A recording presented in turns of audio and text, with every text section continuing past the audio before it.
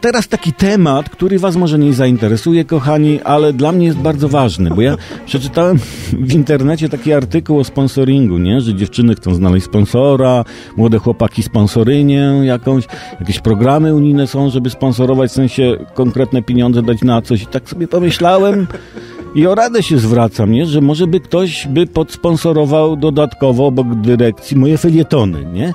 I tak sobie znów pomyślałem, że, że może by moje felietony wykupiła Borussia Dortmund. Nie wiem, bo ona dobrze płaci Polakom, nie? Nawet takie hasło mam na wejście. Trener Klopp, hop, hop, hop. Borussia, usia, usia, usia. Okej, okay, okej, okay, nad tym drugim jeszcze popracuję. Jasne. No ale Borussia byłaby pierwszym klubem Bundesligi, w ogóle pierwszym klubem chyba świata, który ma felietonistę, nie? To, to ładnie by tak brzmiało. Piszczek, Błaszczykowski, Lewandowski i Olbratowski. I ja bym tam dużo za sezon nie brał, nie? Jak tam jakiś samochód służbowy, jakiś dres, jakaś pensja rezerwowego w drugiej drużynie. Później ewentualnie bym się przeniósł do Arsenalu czy Manchesteru United. No nie, nie wiem, co o tym sądzicie, bo, bo was jeszcze nie pytałem, nie?